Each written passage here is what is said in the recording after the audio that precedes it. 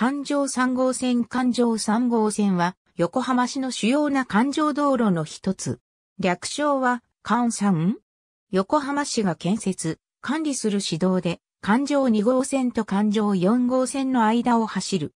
都市計画道路としての名称は、横浜国際高都建設計画道路3.311号、環状3号線、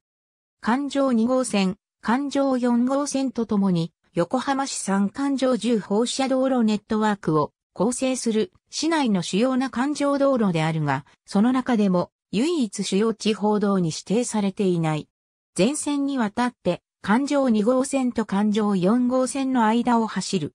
北側の製薬、二つ橋町続き草江戸町の間は、神奈川県道45号、丸子中山茅ヶ崎線と重複している。重複区間ではない区間としては、南側の磯子区過ぎた五丁目戸塚区、戸塚町日の出橋までの間が開通している。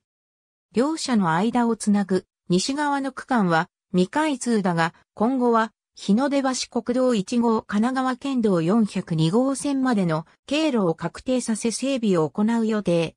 また、神奈川県道402号線と神奈川県道45号、丸子中山茅ヶ崎線との間は未着手となっているが、都市計画決定上は、神奈川県道402号枠は鎌倉線の5区、近くを並行するルートとなっている。ありがとうございます。